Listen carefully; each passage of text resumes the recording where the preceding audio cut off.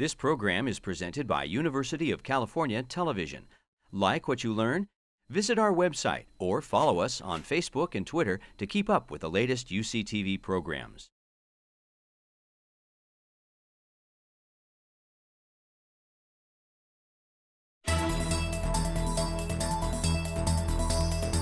How does a seismometer work?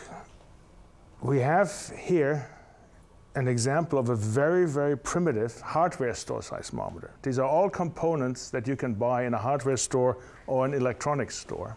The main part is this boom here. And that boom is suspended on two springs. These are these two little strings that you see going up and down like a triangle.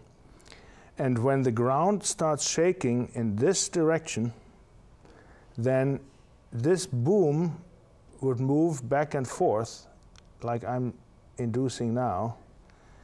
And we have a set of magnets in this part and a copper plate and copper wires in the copper colored part, which is the actual mass. And when you look at some of the basic laws of physics, you know that when you have an electric conductor moving in the magnetic field, that this induces a current. And we pick up this current here and then run it through another device called a digitizer and then into a computer where we can store and analyze the data. Now, what happens during an earthquake?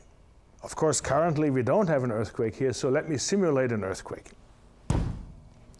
Now I hit the desk with my fist the desk shook in the same way or in a similar way as it would shake when an earthquake would hit McCone Hall here.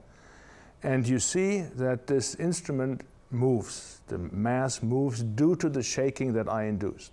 And we can see the shaking here on the screen after it went through the digitization process.